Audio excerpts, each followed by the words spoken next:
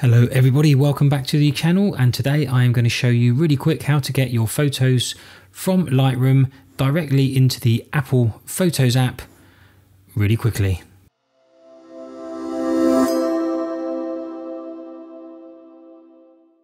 Hello everybody, welcome back to the channel. This is a video like I said, all about getting photos from Lightroom Classic into the Apple Photos app.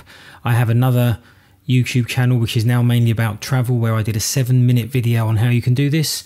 But I'm going to try and show you this now in, I don't know, 70 seconds. So once you've edited your photos, first of all, obviously open up Lightroom Classic and you are in the library module.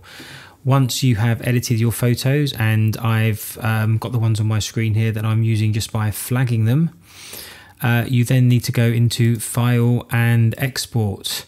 Now I have a preset set up for export for photos and basically you just have to fill out the top um, the top parts as to how you would do them in terms with your file renaming, where you want to save them to, um, the file settings that you want to export and the sizes and if you want them sharp and blah blah all that information you can choose to meet your requirements in terms of the specific folder you can, I think, you might be able to get these exported direct to um, the Mac recycle bin.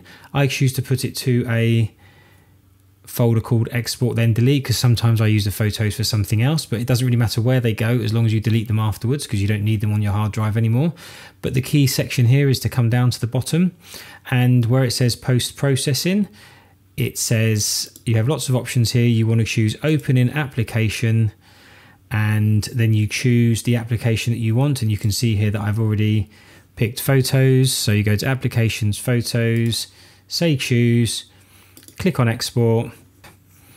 And you can see now they're running through the export process. 18 files exporting.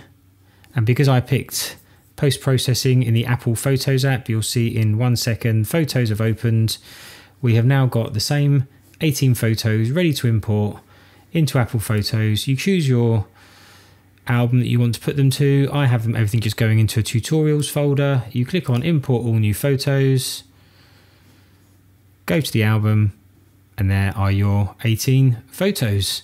So that is really quickly how you get your photos from Lightroom Classic into the Apple Photos app on an iMac. Thanks for watching. See you in the next video.